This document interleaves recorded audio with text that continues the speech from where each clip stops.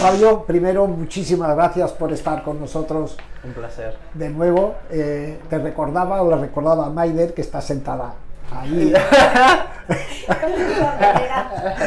que eh, fuiste el primero que nos diste la oportunidad en Pecino GP, así que muchísimas gracias. Un placer. Hemos ido creciendo desde entonces, poquito a poco, pero cada día más. Mi, mi compañero en el canal, Antonio López, tiene una fe en ti increíble. Porque te ha puesto segundo mm, eh, para ganar el, el Gran Premio detrás de Viñales, por el histórico. Y entonces me dice que aquí eh, has ganado dos veces, 19-21. ¿19-21? No. No. Acabé segundo detrás de Mark en 2019 y el 21 acabé segundo justo detrás de... Ah, es verdad, dos veces, pero y el 21 fuiste campeón, Campeón del mundo. eso sí. Pero él me ha dicho, pero siempre ha sido muy rápido y muy competitivo en este circuito. sí. Bien. ¿Y qué esperas para este fin de semana? Es difícil porque este año sabemos que es todo muchísimo más complicado, pero yo me espero que, sobre todo, clasificarme mucho mejor que Cataluña, porque Cataluña el ritmo lo teníamos para acabar con- en la posición que hemos acabado, pero a lo mejor saliendo ya desde la segunda o tercera fila hubiera sido mejor, así que eso es el objetivo para, para, para este fin de, sobre todo clasificarse bien y después sabemos que el ritmo en este circuito lo, lo tendremos. Ajá, o sea, tienes confianza a tope. Sí, no, tengo confianza porque es una pista que tiene bastante grip, es un circuito que creo que podemos ir rápido, sabemos lo que nos falta, nos falta potencia, nos falta grip, pero yo creo que en esta pista se notará menos que, que en Barcelona la diferencia, que nos hemos clasificado a un segundo de, de Aleix que ha hecho, que, no, de Aleix que ha hecho la pole. Un segundo en MotoGP hoy en día es una vida, ¿verdad? Sí, es una vida, es muchísimo y sobre todo en un circuito que habías ganado el año anterior, así que eso duele todavía más. Oye, ¿dónde se quedó el cuartararo aquel que todos cuando llegaba el momento de ir a por la pole, todo el mundo, cuartararo era una de las opciones. ¿Dónde se ha quedado ese Fabio Cuartararo? Está en el mismo sitio, solo que, que por razones que al final de evolución, de, de todo lo que de todo lo que ha pasado de- con las otras motos es que poco a poco he ido haciendo menos pole, po- pole position hasta, eh, hasta este año, porque al final el año pasado he hecho, he hecho solo una, Claro. pero en la primera parte del campeonato he hecho muchísimo primeras filas, eh, porque Peco el año pasado es donde realmente también ha hecho el salto, pero poco a poco hemos ido bajando, pero el Fabio que iba a buscar las poles en 2019 eh, está siempre aquí, solo que falta, claro, falta... ¿Tienes la velocidad todavía? Hombre, claro, Sí, eso no se olvida, ¿o qué? no se olvida. Y claro que este año fue, fue duro al principio porque te haces mil preguntas y una de las preguntas fue, ¿todavía soy rápido? Eh, y al final lo sé que, que ¿Y no cómo lo perdido. compruebas? Si después eh, eh, la, la cruda realidad no te lo muestra, ¿cómo lo sabes? Lo sabes de la manera que pilotas, que realmente eres rápido. Eh, ves la manera que conduces, ves los datos de los años anteriores, ves lo que te falta y claramente sabes que el pilotaje está aquí, Ajá. pero lo que falta es muchísimas cosas. Los- las declaraciones que hago al equipo, de los que nos falta comparado a los años anteriores, los ves en el, en- en el ordenador, ves lo que te falta en tema de pilotaje, que te falta encima de la moto, lo ves en, en los datos y al final son cosas que ves, lo notas en como piloto, pero lo ves también en el ordenador. O sea, es muy importante, ¿no? Porque no dudas de ti mismo. Exacto.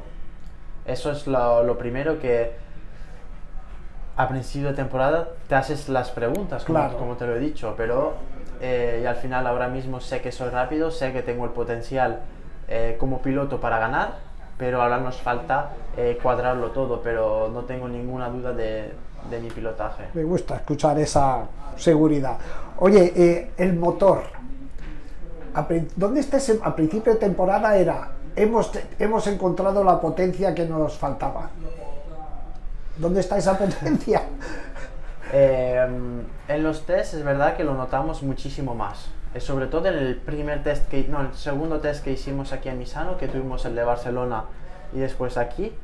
Y aquí estuve muy sorprendido de, de la potencia del motor. Exacto. Eh, pero mm, a principio de año no hemos encontrado otra vez esta sensación. Hemos ganado un kilómetro por hora o dos, pero el problema es que los demás han hecho lo mismo, eh, o incluso un poquito más. Y al final esto nos ha perjudicado que incluso si en el tema de motor ganamos un poquito, los otros lo hacen también. Así que por eso digo que tenemos que coger muchísimo riesgo para realmente hacer un cambio. Yo creo que el margen que tiene Yamaha comparado a los demás en tema de motor es muchísimo más grande que, que los demás, que ya están 10 kilómetros por hora más rápido. Oye, todo el mundo habla de que sí, el 4 en línea está agotado, pero con la referencia de Suzuki, ¿verdad? La Suzuki llegó a correr como la Ducati, o sea, es posible con esa configuración de motor. Yo creo que sí. Eh, yo tengo una imagen de, de Alex eh, Rins en Qatar que pasa de Gian Antonio en la recta y que, que, tenía la velocidad más, más alta. Ahora es verdad que el, este año todavía las motos van todavía más rápido, pero yo creo que en tema de velocidad todavía estamos muy lejos de, de, de la Suzuki del año pasado. Del 1 al 10, o sea, poniéndole una nota, ¿cuánto crees que os perjudica tener solo dos motos en pista? De 1 al 10, ¿el 1 es lo peor? Sí. Yo creo que un, un 3, un 4. Porque al final, siendo realistas, el último año que realmente creo que, que, ha servido el equipo satélite fue en 2020, cuando Frank y yo estábamos en el equipo que realmente fuimos más rápido que el equipo oficial. Pero después, cuando llegué a oficial, eh, yo creo que en 2021, 2022 nos sirvió. Yo sé que en 2021 y 2022 no miré ningún dato del equipo satélite. Pero cuando yo estaba en satélite sí que miraba mucho los datos de Maverick de Rossi, incluso de Franco. Tenía tres motos y veías un poco, pero los dos últimos años no veías nada y este año tampoco mucho, así que falta pilotos, realmente un equipo satélite con dos pilotos realmente que tienen hambre para ir lo más rápido posible y cogerme el propio sitio en, Yamaha oficial, que como yo tenía el hambre de cuando estaba en Petronas subir a oficial, que era el objetivo número uno. Ah, qué interesante, porque yo pensaba que habiendo tenido a Adobe o a Valentino, ellos podían ser una referencia para mirar lo que hacían, ¿no? Pero por lo que me dices es lo contrario, necesitas a alguien con hambre de querer ocupar tu sitio. Exacto. Que al final yo creo que es lo que me pasó a mí. Yo cuando estaba en Petronas, el, la persona que está en un equipo satélite, que vamos a decir que es el equipo número 2, sí, claro. ¿qué quiere? Quiere subir al equipo número 1. Claro y al final cuando yo tengo algo en la mente eh, no me lo saca nadie. Y yo creo que cuando alguien como Dobby o como Valentino que ha ganado eh, siete mundiales en MotoGP, al final de su carrera ya no era tanta hambre como hace 10 años. Y yo creo que al final eso es normal, pero eh, tener un equipo satélite con dos jóvenes que al final tienen hambre de coger mi propio sitio y esto te da también como en el equipo oficial tienes más ganas todavía de ir más rápido. Bueno, eso le pasó a Frankie también, ¿no? A, que tienes ahí al lado, o le pasa a Jorge Martín en Pramac. Es verdad, esa mentalidad es importante. Exacto. Eh, ¿Te estás divirtiendo o, estás, o ahora estás trabajando? ¿Sabes lo que te digo, no? La primera parte del campeonato no he disfrutado nada.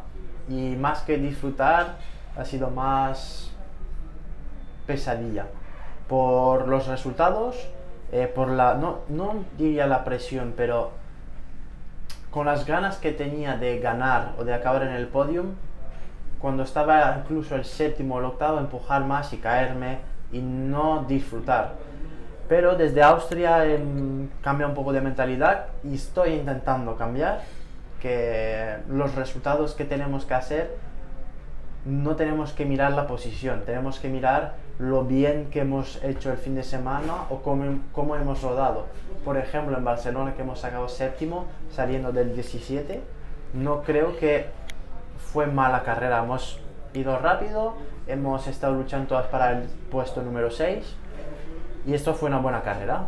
Pero claro, mentalmente es difícil decir séptimo es muy bueno, comparado que el año pasado gané con 6 segundos de ventaja en solo un año. Así que estoy empezando a disfrutarlo un poquito. ¿Cómo te bajaste de la moto en Barcelona? ¿Satisfecho o o, o cabreado, enfaciado, decepcionado, no lo sé, por saber si tú mismo lo que me estás diciendo lo, te lo aplicaste o no. Pues la verdad es que contento.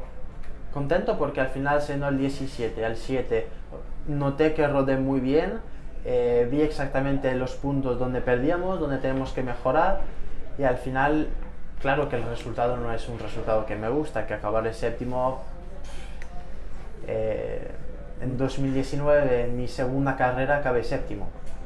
Y al final esto no me... No es que estoy contento de acabar séptimo, pero contento de haber rodado de una manera muy buena. Pero claro que el resultado ni lo miro. Oye, eh, esta pregunta tiene cierto rintintín. ¿Has pensado en algún momento en hacer un Viñales? No, ningún, ningún momento. No me voy a ir cuando las cosas no van mal. Y so- no voy a rendirme nunca. Y al final somos un equipo en los buenos y en los malos momentos. Claro que he podido criticar, he podido decir algunas palabras eh, agresivas, pero sobre todo para de forma un poco inconsciente motivar también al equipo. Y al final, ¿sabes? Cuando pones a una marca y un equipo tan arriba como lo hemos hecho en 2021, 2022 para mí he hecho incluso mejor año que 2020, 2022 he hecho mejor que 2021, porque al final la moto que teníamos el año pasado comparado a las demás fue muchísimo inferior. Y este año, claro, cada año ha ido bajando y bajando, pero el objetivo que cuando estás abajo del todo es donde puedes rebotar para, para subir arriba, así que yo las ganas que tengo de poner Yamaha otra vez arriba son enormes. Mira, yo siempre cuando hablamos sobre la situación de Yamaha y tal, es que al final, en el 20, en el 20 eh, terminó segunda y tú al final tal, pero bien. 21 ganas el mundial. El año pasado terminaste segundo. O sea, no es como ¿cuántos terminan segundo? Uno. Es verdad que ahora estáis en una fase mala, pero ¿qué fábrica no tiene fases malas? Por eso, ¿sabes decir?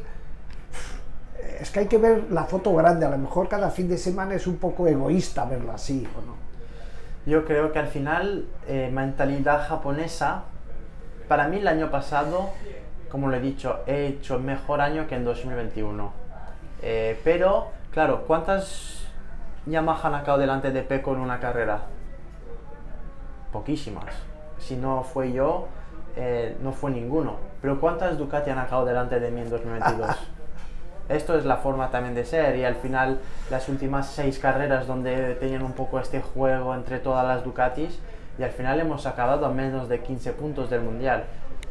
Y para mí esto pues fue un año muy complicado a final de temporada porque Fue de claramente de más a menos, ¿verdad? Exactamente. Claramente. Pero claro, has seguido así hasta ahora, de pasar al ganar, ganar y bajar, bajar, bajar, bajar y ahora estamos bajando y estamos estabilizando. A ver ahora si podemos realmente dar el salto hacia arriba, pero claramente Yamaha sabe que estamos en un momento muy complicado, que la moto no es potente y que no nos lleva a ir a ese límite como los demás, que el límite es muchísimo antes, así que tenemos que trabajar para mejorar. Una cosa, ¿a, a ti te gustaría que la Yamaha siguiera siendo simple pero efectiva o te gustaría un aparato como es una Ducati? Porque visto desde fuera la Yamaha a mí me gusta mucho más, pero ¿se puede ser efectivo siendo así? Si te digo la verdad, la Yamaha fue simple en 2019. 2020 empezó ya eh, a ser más complicado. 2021 un poquito más, 2022 todavía más y este año no es la Yamaha que todo el mundo quería, que me acuerdo que el Sharim se Sí. subió iba rápido. Eso no existe ya. La moto la tienes que conducir muchísimo más agresivo que en 2019 era la forma que la persona me decían conduces un poco como Lorenzo, de Sí, muy sí, fácil. Pero eso ya no existe en Yamaha, es O sea que hay que hacer un cambio. No, pero ya se ha hecho un poco este cambio de tener la moto fácil a tener una moto que va- ahora mismo es bastante complicado, Ajá. bastante más agresiva, pero tenemos la moto más agresiva, pero no más rápida. Claro. No hemos mejorado. eh, y esto es lo que hay que hacer. Para mí tener una moto tan agresiva comparada a hace cuatro años atrás, tenemos que haber mejorado los tiempos como las Ducati. Un segundo de 2019, ahora un segundo o incluso más. Y nosotros, hay circuitos que en 2019 fuimos más rápido que, Qué ahora. fuerte, macho, qué fuerte. ¿Y tu pilotaje está listo para moto agresiva? ¿Tú también has cambiado o no? Yo sí, he tenido que adaptarme un poco a la situación, que al final 2019, 2022 y ahora pues ha cambiado totalmente mi estilo de pilotaje. En 2019 he entrado mucho más rápidos en las curvas, pero esa moto no me lo permite, así que te tienes que adaptar a lo que tienes. Pero me adapto bastante rápido a todo estilo de, de pilotaje. Eh, ¿Qué espera del lunes? Eh, espero tener una mejora. ¿Cuánto? No lo sé, pero espero tener una mejora y que realmente lo que pido desde hace mucho tiempo se note un poquito. ¿Qué ¿Cuánto? es, No qué lo es sé. qué? es tener más potencia eh, y tener más grip, que esto es una cosa muy importante. Y ya lo veremos como, como lo han hecho ese, ese, ese motor, esa moto, así que será una cosa importante de ver en el lunes. Eh, Michel Turcot, al que tú conoces, estuvo en las 8 horas de Suzuka. ¿Has hablado con él o no? Muy poco. No. Muy poco. Estaba Cal Crutchlow allí. Y Vale. entonces le preguntó, bueno, ¿y qué tal? Eh, y dice Cal, bueno, yo les digo, vamos a probar. Dice, llevo aquí dos semanas en Japón y hemos probado un carenado y que no ha funcionado. ¿Qué te dicen los ingenieros? ¿Qué están haciendo? No, no, pero no lo digo, o sea, ¿qué te dicen que están haciendo? No diciendo, metiendo el cuchillo. No, realmente no quiero saber muchas cosas, porque mm, sé que yo quiero otras cosas, pero al final yo empujo cada fin de semana, cada jueves, cada domingo, eh, tengo reunión con ellos. ¿Qué estáis haciendo? ¿Estáis planteando hacer un cambio grande? ¿Estáis empezando a ser más agresivos? No me dicen realmente qué están haciendo, pero yo estoy empujando al límite para realmente que jueguen al límite que van a la línea blanca de las, de las reglas y de la moto. Y ahora estamos muy de una forma con mucha precaución. Pero en el MotoGP no hay precaución, tienes que ir al bordillo. Y esto es lo que estamos intentando bajar para que realmente estemos al límite. Pero realmente lo que están haciendo, yo empujo para que hacen lo que estoy empujando. Si tú lo que quieres es resultados, el cómo te importa. Exactamente. Yo estoy aquí para subirme a la moto y ir rápido. ¿Cómo es el proceso Es de pasar de X caballos a X más 20? No lo sé cómo lo van a hacer, pero quiero que lo hagan. Bien, eh, para terminar, eh, la llegada de Alert Creeds. Desde fuera parece un equipo potente sin quitarle mérito a, a Morbidelli, que es subcampeón del mundo, pero creo que, que puede sumar, ¿no, Alex? Sí, puede sumar. Es un primero una persona que eh, somos mucho más similar.